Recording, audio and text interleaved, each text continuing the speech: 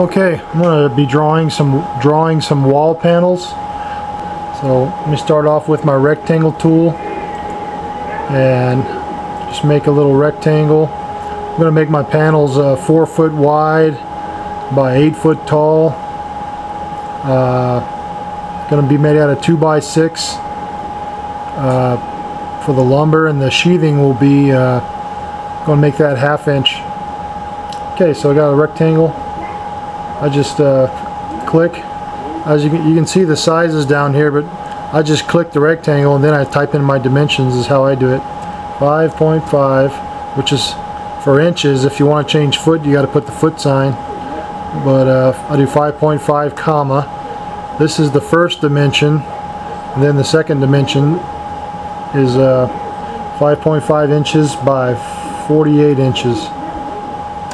Okay, so that drew that.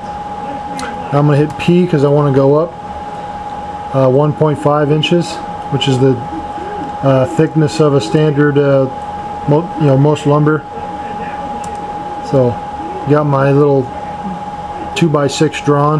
That's 5.5 uh, inches this way, 4 foot this way, and 1.5 inches thick. Uh, I'm going to make that a component, so I hit my space bar to get my select tool.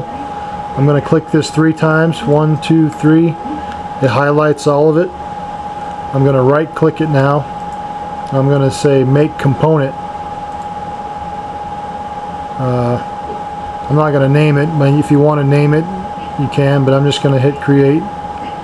Now what making a component does is anytime, now if you don't make a component and you click this, you would just be selecting the top plane but now when you click on this, the whole piece gets highlighted. So it's good to make components when you're building stuff. Uh, now I'm going to hit the R button. I'm going to draw a little rectangle here. Okay, that's that's not the dimension I want. So now I'm going to hit comma because I'm going to adjust my second dimension. Uh, make that 1.5. Okay, now I'm going to hit my push pull tool and make just this piece go up. Uh, I'm going to make that 96 inches. Well, actually, I'm going to make that 93 because uh,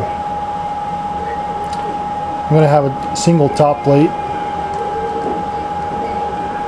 I'm going to draw another one right here, so I'm going to get my rectangle tool back.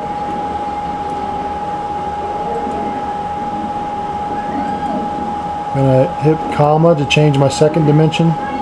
1.5 gonna hit my push pull tool make select that go up. Gonna go to 93 uh, I mean you can make these heights whatever you want that's just this is just what I'm doing.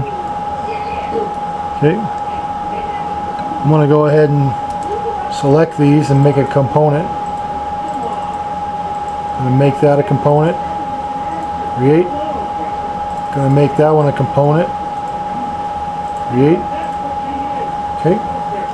I'm gonna gonna click here on this little point here. Click there. Go across to the other point. Click. Hit the push pull. Go up 1.5 inches. Now I got my top plate, uh, bottom plate, and two studs. I'm going to go ahead and make this a component. Okay. Now I'm going to switch around the back side. And I'm going to hit my rectangle tool. I'm going to go from the bottom here.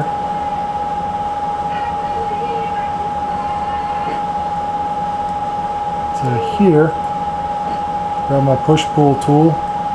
Push it out this way. And hit 0.5 and now if you look you can see I got a my sheathing here and the studs just like you would be building a wall panel. Okay. I'm gonna select this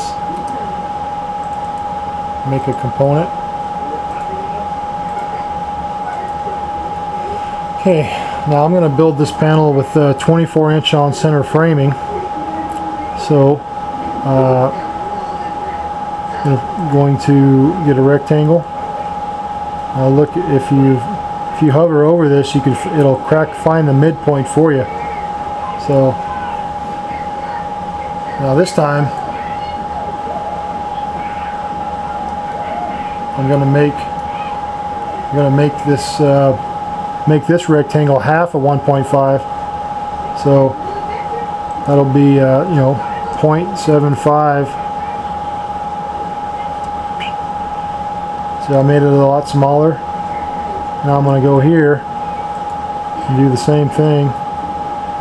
So on this side now I'm gonna do point uh, sorry comma 0.75 and I drew that now to get rid of this middle one here. I'm going to go up here and select my eraser tool and just click on the middle got rid of that. Now I'm going to hit push pull raise that up do 93 inches.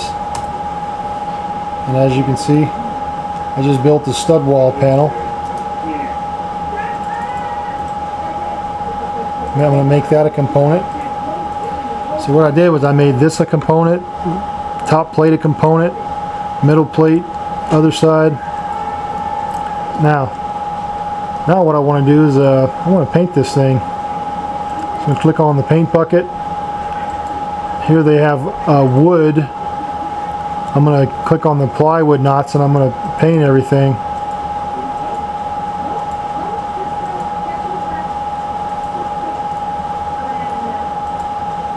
Okay.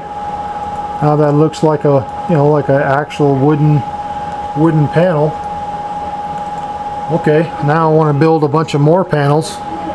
So instead of doing all this individually, uh, what I'm going to do is select everything, right click. Now I'm going to make it a group. So I'll make a group. Now all that's a group, so when I select it now, I select everything. Okay? What I want to do now is I want to make a copy of this. Uh, okay. I'm going to click on my move button, uh, or I can hit M, and it does it. Now, when I what I want to do is kind of use my mouse wheel and zoom in you can zoom out and zoom in but I want to move over this and see how that highlights that well a little trick is if it, I, I put this on the point click it hold it down and as I move it you can see the little green arrow there that means I'm on the same plane now if I want to make a copy I just hit control and it makes a copy for me then I can move it over here and I can click back on this point I can zoom in and get right back on that point. So I just made a copy. Okay. Now if I say I wanted to make more copies, a trick, I can just type X. Let's say uh, I want to make eight of those. Hit X8, then enter. Boom, it built a whole bunch of walls for me. Just a little trick. Uh, I'm going to click on my pan button. And as you can see, I just built a whole wall full of like wall panels. Okay. Uh, this is like 4 foot, so that's 8, 12, 16, 20, 24, 28, uh, 32, 36 foot wall panel. And uh, that's pretty simple. As you can see, I got my individual pieces. That'd be just like uh, if I was to build some wall panels uh, laid it all out but okay that's one way to build wall panels just to show you you can play around with some of those techniques